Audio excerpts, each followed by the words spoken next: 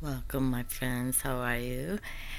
I'm uh, got a little ritual going for us today for the um, the drawing of the moon.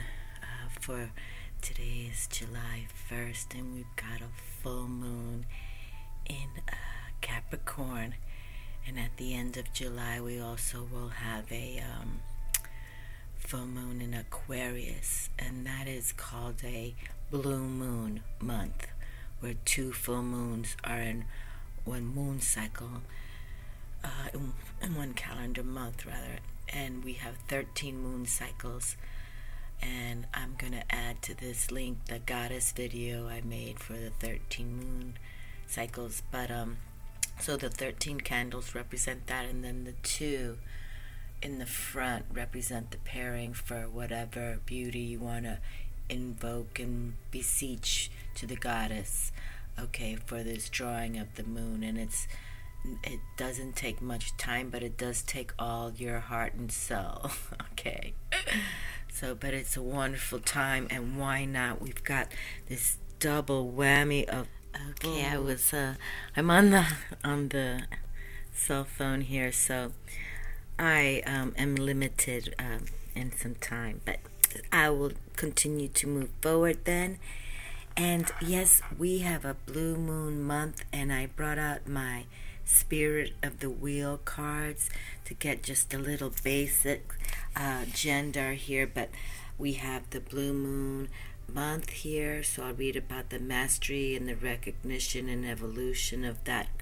And then we also have the strong sun moon a card which uh, is receptive for now regarding the summer solstice towards July 22nd. Okay, and that's about social invitations, creative pursuits, joy.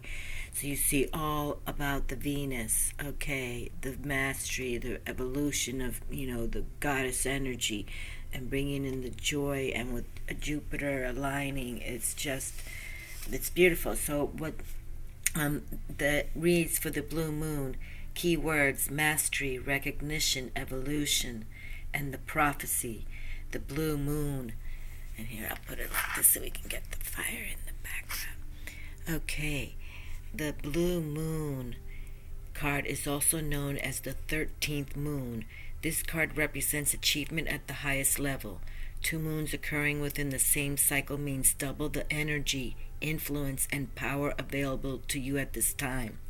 This is a perfect opportunity for you to achieve mastery in some area of your life. The blue moon denotes some kind of recognition for your gifts and abilities. Material gain is indicated with this card as it signifies abundance on all levels. Self empowerment is occurring even though you may be fearful of the transition. The blue moon's influence brings synchronicity and it Seems as if things just come easier for you now. You may very well feel the energy of the wolf spirit around you. Let's see. With the wolf spirit around you. As the teacher and pathfinder, the wolf can assist you greatly in this auspicious time. Become the master and allow your dreams and visions to be actualized. Become the magicians, my friends and allow your dreams and visions to be actualized. You have worked hard, so accept it. Accept the recognition that goes with the blue moon. You deserve it. Exclamation mark. And the prayer is as I move more fully into my own power, I open my heart to the recognition I deserve. I thank Great Spirit and all of those who have helped me along the way. I am ready to be the master and to fully accept abundance in my life. Wonderful, wonderful. And we've got some goddess cards here that I'm going to pick. But first, I want to uh, bring into the drawing of the moon. So I'd like to read about that. So let me just begin that. I'm just going to read. There's a couple of paragraphs I'd like to read uh, coming from the Witch's Lore, the Book of Shadows. So this is witcheslore.com, their Book of Shadows regarding the drawing down of the moon. Okay, and this was written. Oops, I'm sorry. I'm trying to. Uh, was written in uh, 2011, November 22nd. So it's wow, but Um, I think it'll do us justice right now, and I have some sea salt water uh, there for more purification of the table. I just picked some um, plumeria uh, plants that grow now. I have, and these are all the shells I've collected throughout the race. So, you know, this is my love I have. And of course, the crystals are all here, and that's the spirit world deck. So it's all just beautiful. Okay, and get out to this full moon and, and make sure you can do these rituals. And I say you could do this any day for the next 30 days because we've got that other powerful moon coming. So just do it, my friends, okay? Anytime you want to anytime. Just be serious about it. Drawing down the moon, also known as drawing down the goddess, is a highly relevant and beautiful ritual in which the energy of the goddess, symbolized by the moon, is invoked. The goddess is then drawn into the person who is conducting the ritual. Within a coven, the high priestess invokes the goddess, and the spirit of the goddess then enters the high priestess. This ritual can also be performed with the assistance of the high priest, who invokes the spirit of the goddess into the high priestess. In some covens, the high priestess meditates upon the goddess and enters a trance. The high priestess then speaks and acts as the goddess. In classical times, ancient Thessalian witches were believed to control the moon according to an old tract in quotes, if I command the moon, it will come down, and if I wish to withhold the day, night will linger over my head. And again, if I wish to embark on the sea, I need no ship, and if I wish to fly through the air, I am free from my weight. Uh, that was a quote found uh, in ancient Greeks and Romans believed that witches had a direct link to lunar energies and had the power to draw down the moon. Okay? So, uh, continuing, the name Drawing Down the Moon is said to have come from a depiction of two women and the moon on an ancient Greek vase believed to date from the second century before Christ. So that's, you know, 5,000 years ago. When a solitary witch performs this ritual is done during a full moon and within a circle. The solitary witch assumes the goddess pose both arms are held high up, palms up. The body and arms form a Y. The witch then enchants to invoke the goddess spirit by drawing down the moon. You are filling yourself with divine white light and absorbing the energy of the goddess. A drawing down the moon invocation is most powerful during the full moon.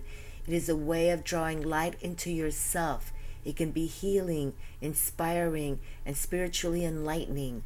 Although men and women can conduct this ritual, many women find that by drawing down the moon and connecting with the power of the goddess, they are able to connect with the power within themselves. And how to draw down the moon? Cleanse your space and cast the magic circle. Again, my friends, you know, you must have your house clean, okay? You got to do that cleansings, cleansings. Stand facing the full moon. You may be outside or inside, whatever you prefer, as long as you have a clear view of the moon. Acknowledge the moon and give thanks. Send loving energy up to her and out into the universe. Stand for a few minutes, breathing the lunar energies. Calm yourself and still your breathing. Completely relax and clear your mind. And see if you've been practicing on your meditations and your, you know, half hour or day to an hour stillness. Uh, this will come natural, these kind of rituals, okay? Stand with your arms stretched outwards, forming a chalice above your head. Keep your feet close together. Rub your hands together Take a deep breath and again assume the chalice position. Invoke the energy of the goddess using any words you choose, or you may wish to chant, quote, I invoke the energy of the goddess, unquote, three times.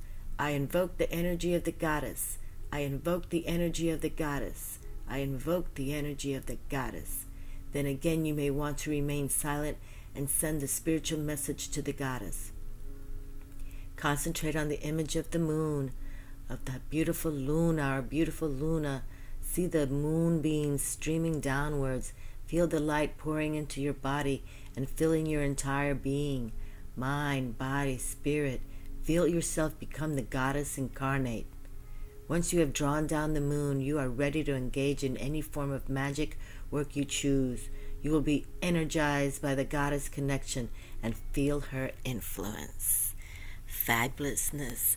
All right, so I brought out the goddess card, so I would like to also, um, um, and I'm going to put the blue moon back in here only because if it comes out again with the sun, you know, we know that they want us to pay attention, okay? Pay attention. Pay whippy. You know what? This one just kind of flew out. So that's going to be one. And then I'll pick number two, okay? So we've got two cards there.